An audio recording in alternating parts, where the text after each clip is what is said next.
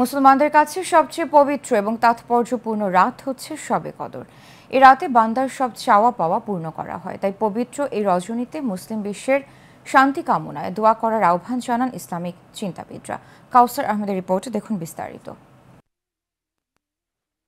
সারা বছরের মধ্যে রমজান মাস হচ্ছে সবচেয়ে বরকতময় মাস এবং এই মাসের মধ্যে শেষ দশ রাত হচ্ছে সবচেয়ে মর্যাদাপূর্ণ এবং এই শেষ দশ রাতের মধ্যে লাইলাতুল কদর অর্থাৎ সবে কদর হচ্ছে সবচেয়ে মহিমান্বিত। তাই এই রাতকে বলা হয়ে থাকে হাজার রাতের চেয়ে উত্তম রাত।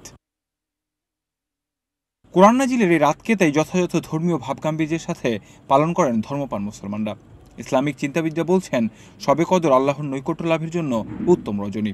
রসুল্লাহ সাল্লাম হাদিসে ইরশাদ করেন যে ব্যক্তি ইমানের সাথে সওয়াবের আশায় এই রাতে করবে আল্লাহ তাআলা তার জীবনের সমস্ত গুনাহকে মাফ করে দিবেন একই সাথে এই রাতে আল্লাহর কাছে ক্ষমা প্রার্থনা করার পাশাপাশি বেশি বেশি কোরআন তেলাওয়াত করার আহ্বান তাদের। এই রাত্রিতে আল্লাহ তাআলা কোরআন নাজিল করেছেন।